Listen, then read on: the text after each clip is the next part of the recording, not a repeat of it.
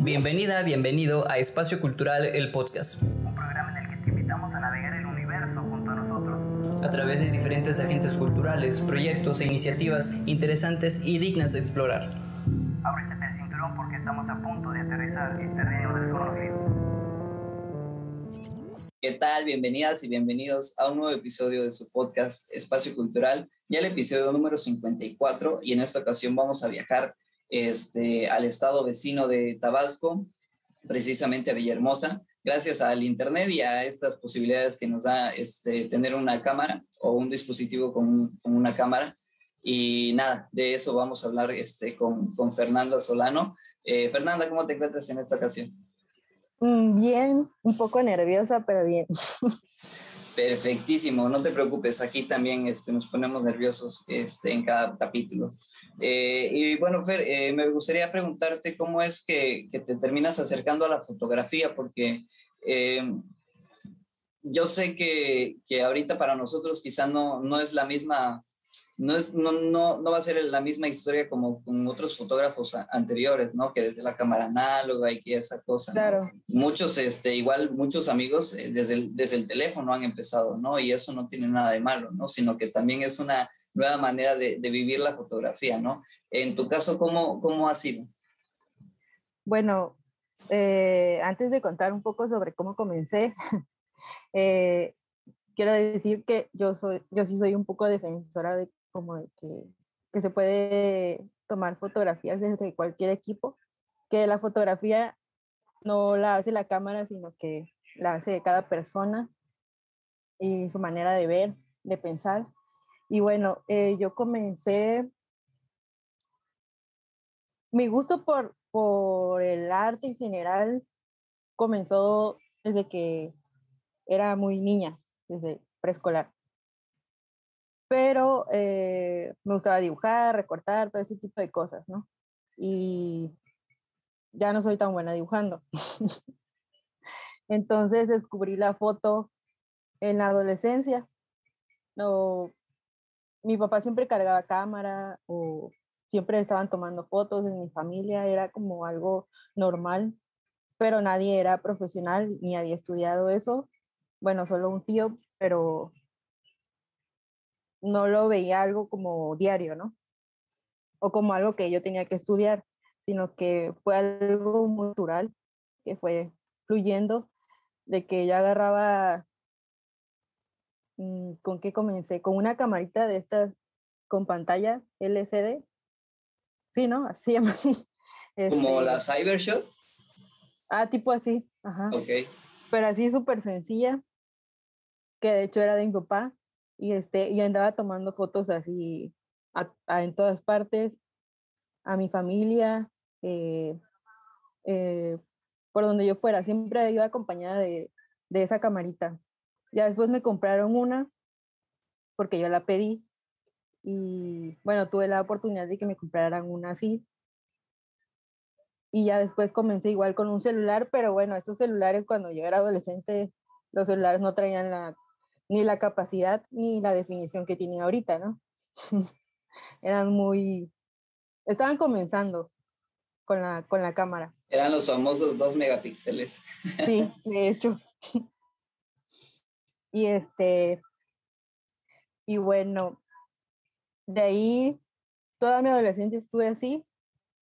Eh, estudiaba, leía, pero por mi cuenta, nunca me metí ni, nunca me dio por meterme a estudiar más a profundidad eh, algún diplomado, ese tipo de cosas.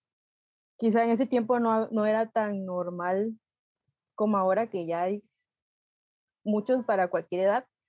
Y, este, y fue que decidí estudiar diseño gráfico. Entonces en la carrera de diseño gráfico llevé la, la materia de fotografía.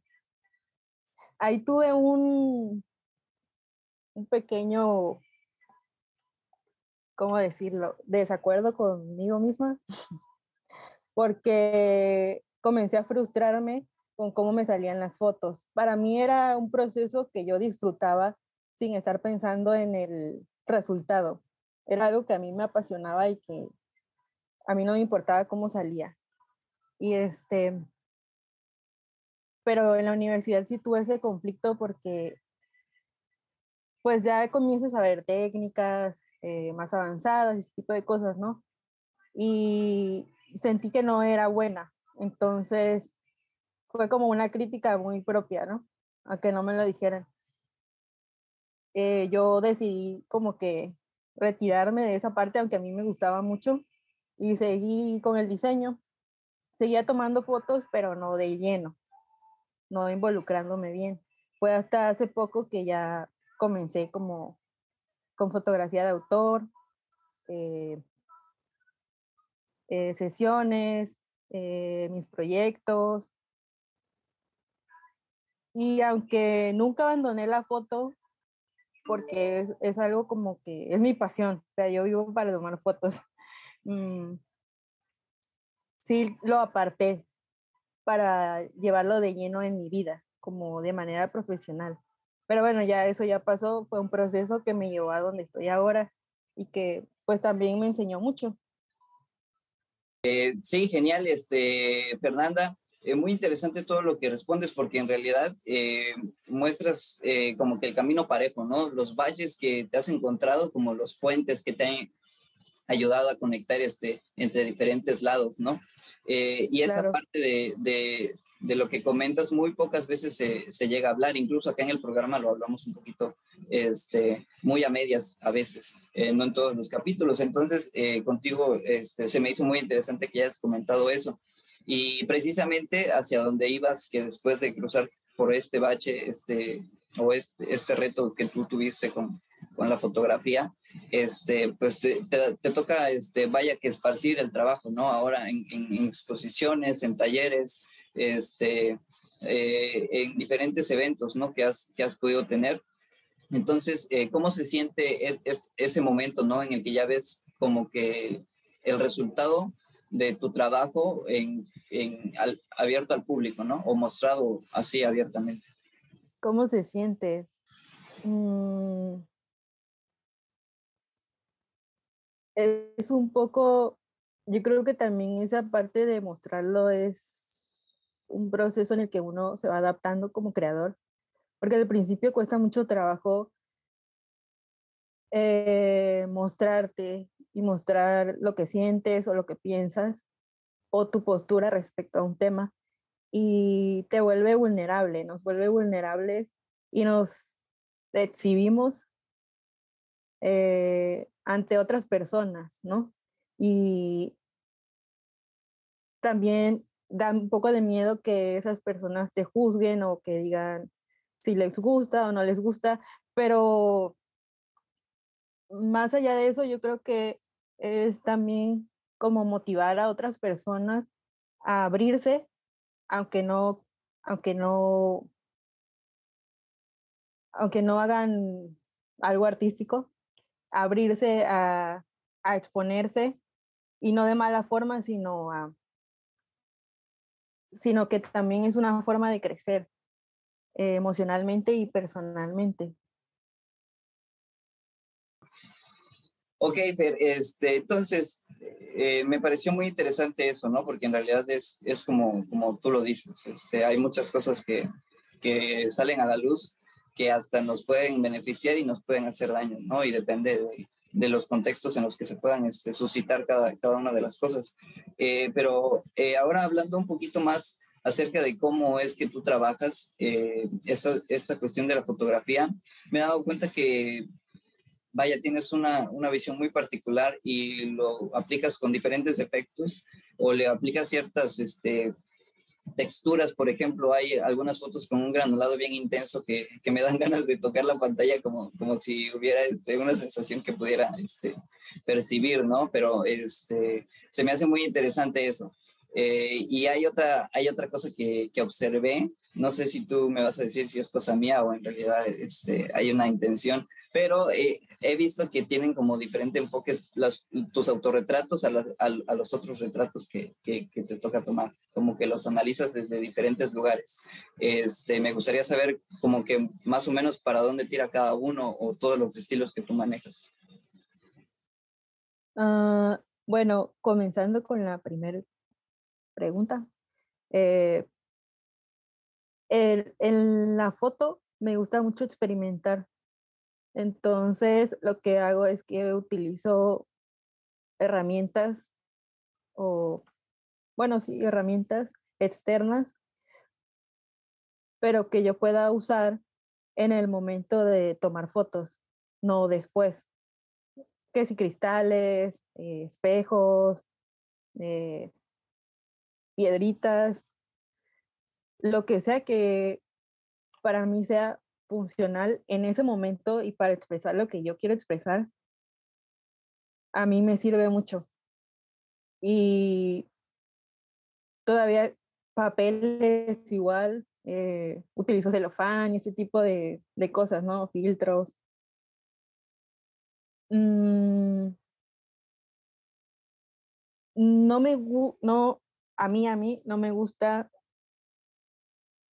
bueno, no sé cómo decirlo exactamente, pero esa es la parte que me gusta de la fotografía, que no solo es crear un recuerdo, sino que yo puedo crear lo que está en mi cabeza en ese momento y tener también una conexión con la persona que está frente a mí o con el lugar, que sea algo que, que transmita a la otra persona que está viendo no solo lo que yo quiero decir, que, sino que sienta algo, así como tú me decías que, no sé, te da como por querer tocarla, ¿no? O, este, no es que yo lo haga a propósito, sino que me nace hacerlo así. Y también esa parte bonita de crear esa conexión con la persona a la que retrato, de no solo pensar en un vestuario, este tipo de cosas, sino en cómo se siente esa persona en ese momento o qué piensa o cuáles son sus gustos. Me gusta como que analizar un poco sobre esa persona, no llevándola a juzgar, no, no, no, sino al contrario, eh, como crear alguna conexión y empatía con esa persona. Y cuando yo me tomo eh, autorretratos, bueno, ese es otro, otro proceso, porque a mí no me gusta que me tomen fotos. De hecho, salgo muy mal cuando otra persona me toma fotos porque no me siento cómoda. Pero yo creo que tomarse autorretratos cualquier persona es liberador igual, porque yo lo digo en mis talleres y en mis clases, que siempre, siempre, siempre, por lo menos una vez en la vida hay que tomarse un autorretrato. Eh, con el proceso, a mí me gusta pensar en la idea, pero no me gusta planear todo. O sea, sí pienso en, bueno, este fondo, este color, o voy a utilizar esto y esto, ¿no? Pero me gusta más como que improvisar en el momento con la idea que yo ya tengo, no tanta planeación. Esa es mi forma de trabajo. Admiro mucho cuando sí tienen todo listo y planeado, pero a mí no me funciona así. No, no soy buena así. Y, y este, y entonces a la hora de tomarme las fotos es como que tengo que estar a solas en un lugar cerrado donde nadie me vea. eh, por lo menos ahora, ¿no? A lo mejor y en el futuro pues ya cambia esa forma o esa forma de trabajar. Todo también depende de en qué momento de nuestras vidas estamos nosotros. Y bueno, me encierro, este, me gusta poner música dependiendo de cómo me sienta yo, porque, por ejemplo, si me siento triste o estoy enojada, porque no siempre es por querer verme bien en la foto, ¿no? Es expresar eso que a lo mejor con palabras yo no puedo decir o no le puedo platicar a alguien, sino que es mi forma de gestionar cómo me siento o algún problema que esté procesando. Y, y me gusta mucho el movimiento. eh, no tanto hacer poses estáticas, sino fluir quizá con la música que esté en ese momento, con mis pensamientos en ese momento, porque estamos en nuestro día a día y no estamos como que conscientes de cómo nos sentimos o no nos da el tiempo de decir, bueno, me siento triste porque estamos en el trabajo, estamos estudiando y pues tenemos que atender esas cosas también. No nos podemos detener siempre. Y a mí me funciona mucho esta parte para procesar todo ese tipo de, de emociones.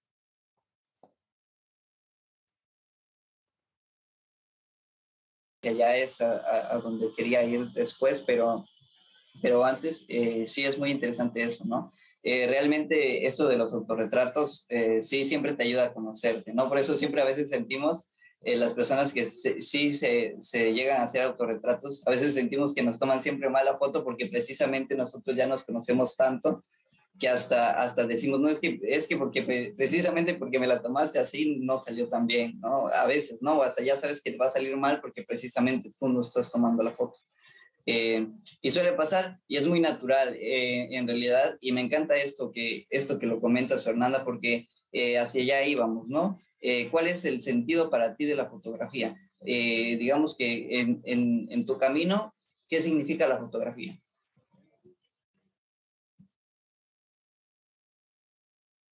Creo que desactivaste tu micro, este, Fernando. Ay, perdón, perdón, perdón. Ah. Ya. eh, mi camino, ¿qué significa la fotografía? Como bien dijiste, yo creo que me leíste la mente igual. es esa parte de autoconocimiento, de conocerme a mí misma y cuando yo me conozco, conozco mi entorno. Y es como un círculo de que, o sea, si yo me conozco, conozco lo que está afuera y conozco lo que yo quiero y lo que me gusta y estoy segura de qué es lo que lo que sí quiero y lo que no. Y yo no me veo bueno, no me quiero adelantar porque a lo mejor tengo muchas cosas por vivir, pero yo no me veo no haciendo fotos. O sea, yo me veo siempre haciendo fotos. Es lo que amo y es mi pasión y es por lo que vivo. No solo porque me dé algo monetario o, este tipo de, de experiencias de estar aquí hablando contigo sobre eso, sino es algo que me llena. Y es muy bonito porque lo encontré, ¿no? Encontré algo que, que se siente bien hacerlo y que cuando lo estoy haciendo es como que desaparece todo.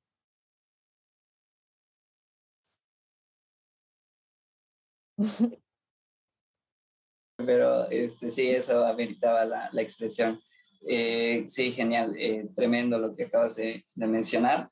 Eh, y definitivamente se admira este, absolutamente. Y desde acá, desde el podcast, desde Faro Austral, deseamos, este, Fernanda, que, que haya este, fotografía para mucho tiempo en tu vida, así como deseamos que haya arte para todas las personas que han estado en el podcast, todas las creadoras, los creadores, y muchísimo arte para todas las personas, aunque no queramos ser artistas, lo necesitamos en nuestras vidas.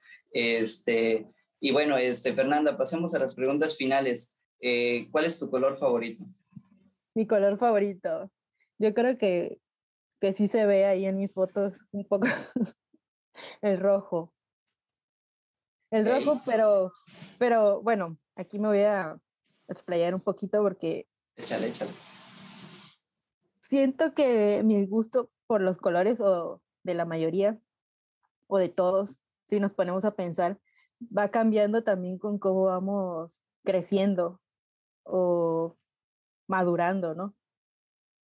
Por ejemplo, en mi proceso, últimamente veo que igual hay mucho azul o ya empiezo con el morado y yo cuando empezaba era como muy rojo, todo rojo, todo rojo. Y no lo voy a quitar el rojo de mis obras, pero sí esa parte de que el color también comunica, ¿no? Entonces, igual y puedo decir que todos los colores me gustan, menos el gris.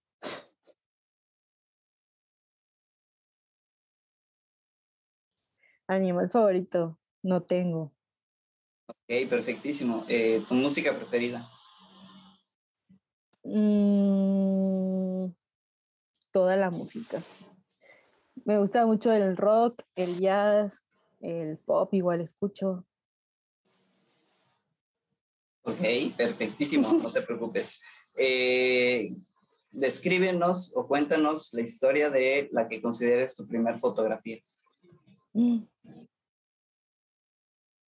Eso no lo había pensado. mi primer foto, de hecho no sé cuál, no sé cuál fue mi primer fotografía.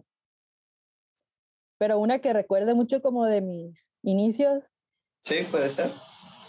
A mí me gustaba tomar mucho fotos a un primo que en ese tiempo era un bebé, pero no bebé bebé, sino un niño. bueno, un niño como de dos años y ahorita ya tiene casi 18. Pero él era en ese momento como estarle tomando fotos todo el tiempo y él también se, se prestaba a, a, que yo le tomara todas esas fotos y no eran fotos normales. Bueno, no, no quiero decir normales o raras, sino que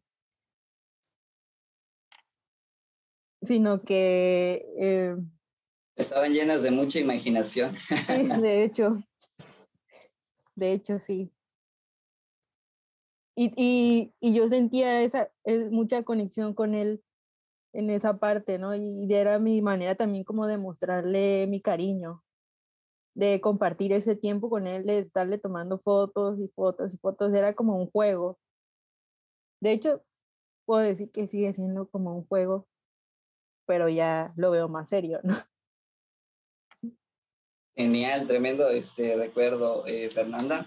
Y bueno, este siguiente espacio ya, no, ya no es una pregunta, sino más bien es una invitación a que nos compartas posiblemente algo que quieras, eh, que traías en mente para compartir en el, en el podcast y nosotros no te preguntamos, o precisamente alguna impronta, algún mensaje que, que, siempre andes compartiendo con, con la banda que, que habla de arte, que no habla de arte, que te conoce, que no te conoce o que te acaba de conocer.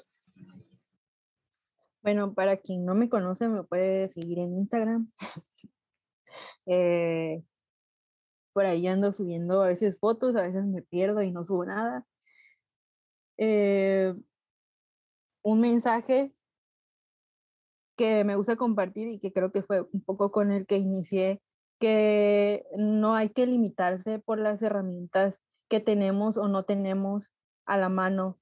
Eh, yo lo digo también en muchos de mis alumnos que no se limiten porque no tengan una cámara o porque no se puedan comprar una cámara o porque no tengan un reflector o no tengan luces, porque eso viene después, ¿no? Si es algo que les interesa y les gusta y en lo que quieren trabajar de verdad. Pero que si no lo tienen, ellos tienen que buscar los recursos y siempre los tenemos a la mano y eso hace que también se agilice toda nuestra creatividad. Y esa es una forma de conocernos a nosotros mismos, también conocer nuestro proceso. Y hablando de procesos, otra cosa que igual no hay que frustrarnos si no nos salen las cosas como quisiéramos o como vemos que le salen a otras personas. Yo, por ejemplo, tengo un trabajo aparte de la foto, ¿no? Y yo sé que en la mañana yo no puedo tomar fotos, yo no puedo salir a tomar fotos. Y al principio eso me frustraba, porque era como, es que yo quiero utilizar la luz del día o no me da tiempo en la noche, no me da tiempo, no sé qué, y así. Pero lo he ido adaptando y eso también se disfruta y eso es parte de lo que se ve en mi trabajo. De que, bueno, a lo mejor yo no puedo usar la luz natural, pero busco la manera de, de que igual se vea bien, aunque tampoco tenga todo el equipo aún de luces. Y que esta también sea una forma de, de conocer su entorno y que disfruten siempre el proceso en vez de estar pensando en el resultado final. Eso es más importante. Igual que comuniquen siempre algo, porque muchas veces lo que queremos es que se vea bien, que se vea bonito, y en realidad no hay algo bien o algo malo. en lo que creamos. Todo, todo, absolutamente todo lo que hacemos tiene un valor y ese valor se lo damos nosotros, se lo damos, se los dan otras personas, pero siempre todo tiene un valor. Nunca va a ser que si es bonito o es feo o es malo, es bueno, eso no, no, no existe. Eh, no creo que exista en el arte. Y esa es la parte interesante de estar creando, de descubrirse a uno mismo y descubrir al mundo y a otras personas.